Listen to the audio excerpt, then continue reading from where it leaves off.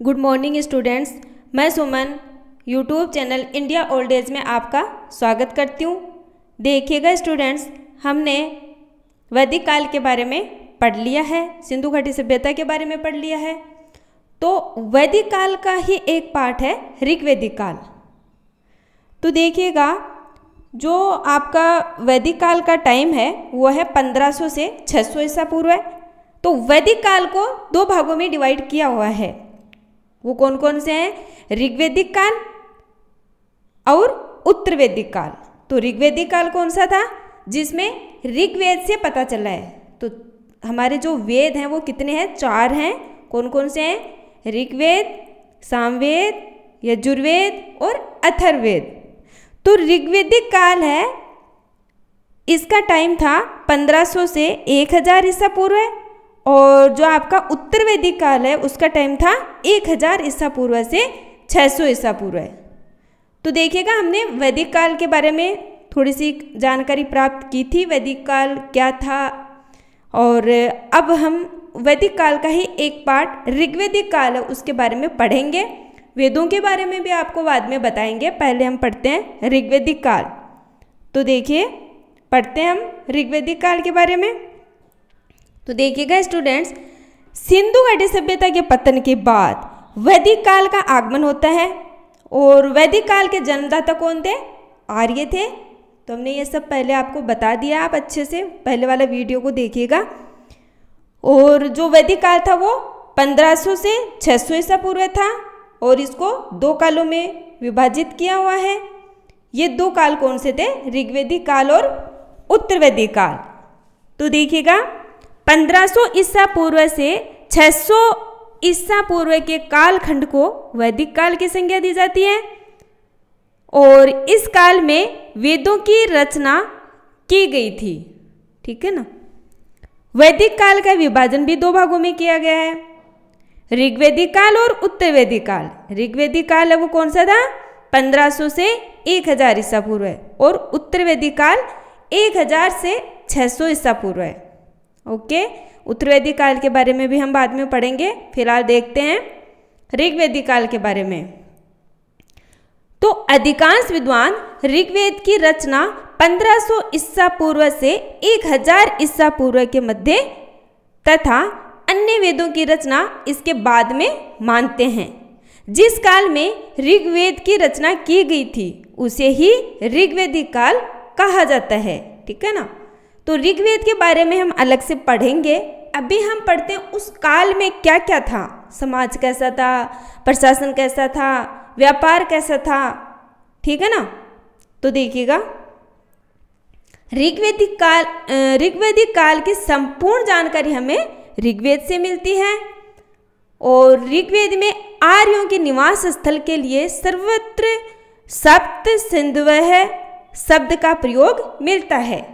तो देखिएगा स्टूडेंट्स ऐसा माना जाता है कि ऋग, जो वैदिक काल है, उसके जन्मदाता थे आर्य। आर्य हैं, ये बाहर से आए थे। ये भारत के नहीं थे, ये बाहर से आए थे। और आर्य शब्द का अर्थ श्रेष्ठ होता है। ये सब हमने आपको पहले बताया हुआ आर्यों के बारे में, आप देखिएगा, वैदिक काल के बारे में जो वीडियो बनाया, उसमें देखिएगा आप अच्छे से डिटेल से बताया हुआ है वहाँ पे। तो जो आर्य हैं, इनके बारे में अलग अलग विद्वानों ने अलग अलग मत दिए हैं, ठीक है ना? तो आर्यों का जो निवास स्थल है, इसके लिए सर्वत्र सप्त सिंधु है। शब्द का प्रयोग मिलता है, ये कहाँ पे मिलता है? ऋग्वेद में। कई बार क्वेश्चन पूछ लेते हैं कि सप्त सिंधु है, शब्द किसके लिए आया है और कहाँ पे इसका प्रयोग किया गया है? वो आपका ऋग्वेद और आर्यों के निवास स्थल के लिए सप्त सिंधु है। ठीक है? अब देखिए, जो आर्य थे, इनकी भाषा थी संस्कृत। ऋग्वेद में सरस्वती नदी का बड़ा महत्व है। आर्य निवास की यह अति महत्वपूर्ण नदी थी। ऋग्वेद में यमुना का प्रयोग तीन बार तथा गंगा का प्रयोग एक बार हुआ है। ऋग्वेद में हिरण्य पिंड का वर्णन मिलता है। निष्क आभूषण आदि हिरण्य पिंड से ही बनाए जाते थे। ऋग्वेद के सातवें मंडल में सुदास एवं दस राजाओं के मध्य हुए युद्ध का वर्णन मिलता है, जो कि पुरुषणी अर्थात रावी नदी के तट पर लड़ा गया। इस युद्ध में सुदास की विजय हुई थी, ठीक है ना? तो हम ऋग्वेद के बारे में अलग से पढ़ेंगे, तब आपको सातवें मंडल जो भी है ऋग्वेद के बारे में इंफॉर्मेशन वो आपको हम अच्छे से डिटेल से बताएँगे। अब देखिएगा ऋग्वेदिक काल है, उसमें सामाजिक व्यवस्था कैसी थी? समाज कैसा था?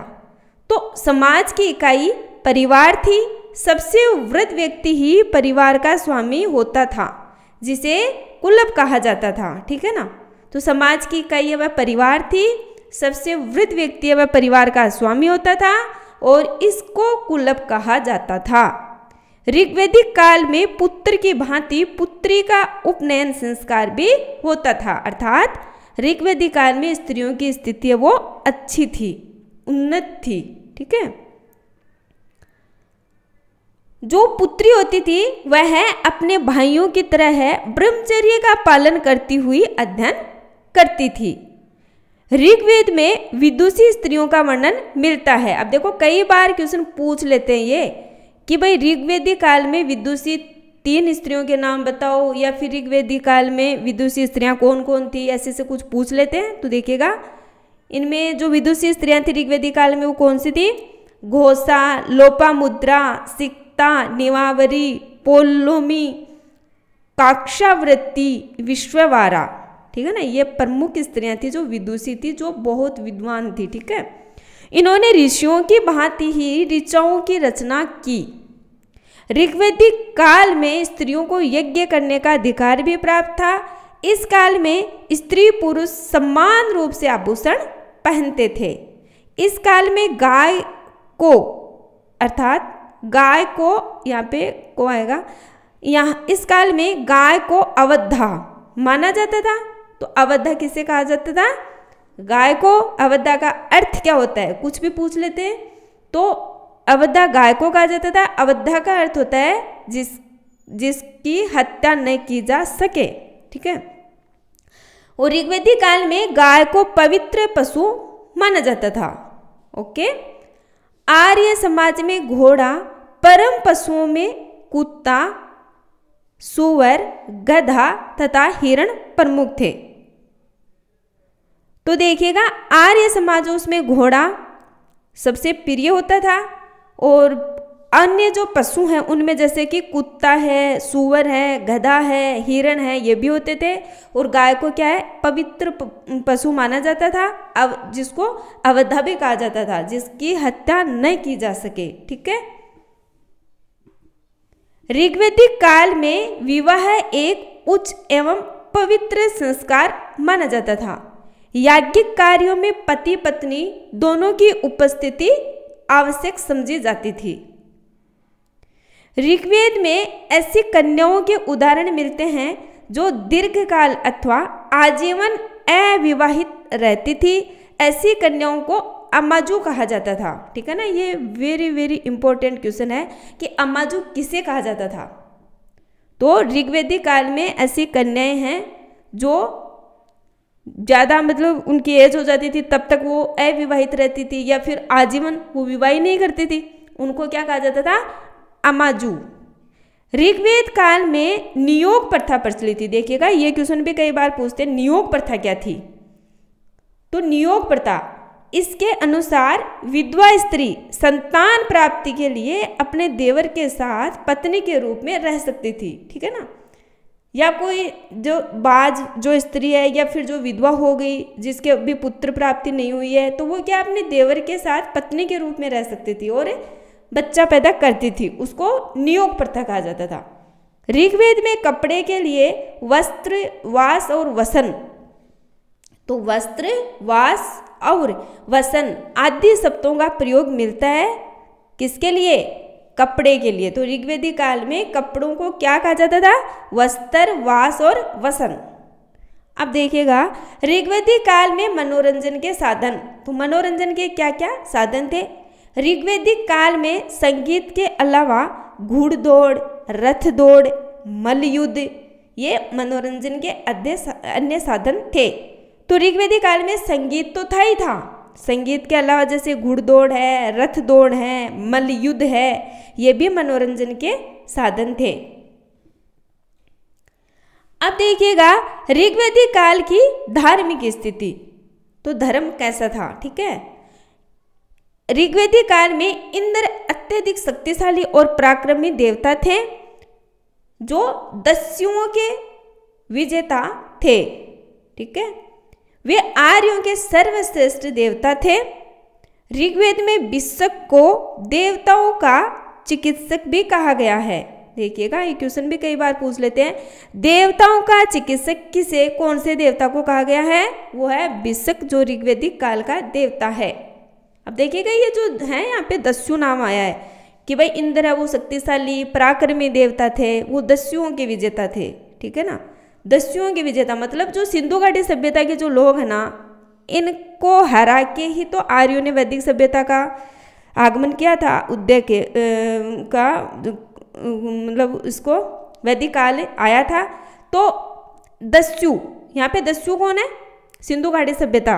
सिंधु घाटी सभ्यता के लोग बाग। तो सिंधु घाटी सभ्यता के जो लोग हैं, उनके विजेता कौन थे? उन पे विजय किसने हासिल की थी? आर्यों ने की थी। और इनके जो सबसे शक्तिशाली देवता वो कौन है? इंद्र है। ठीक है? इस काल के प्रमुख देवता पुष्सन, जो पशुओं का देवता है। सूर्य ही शक्ति का परिचयक थे, जो औषधि और वनस्पति जगत के संवर्धन में योग करते थे। ठीक है? तो पशुओं का देवता कौन था? पुष्ण था, शक्ति का परिचय था सूर्य देवता और सूर्य देवता को औषधि और वनस्पति जगत का भी देवता माना गया है। अग्नि देवता का महत्व इंद्र के बाद प्रमुख था, ठीक है? अग्नि भी एक महत्वपूर्ण देवताओं में थे।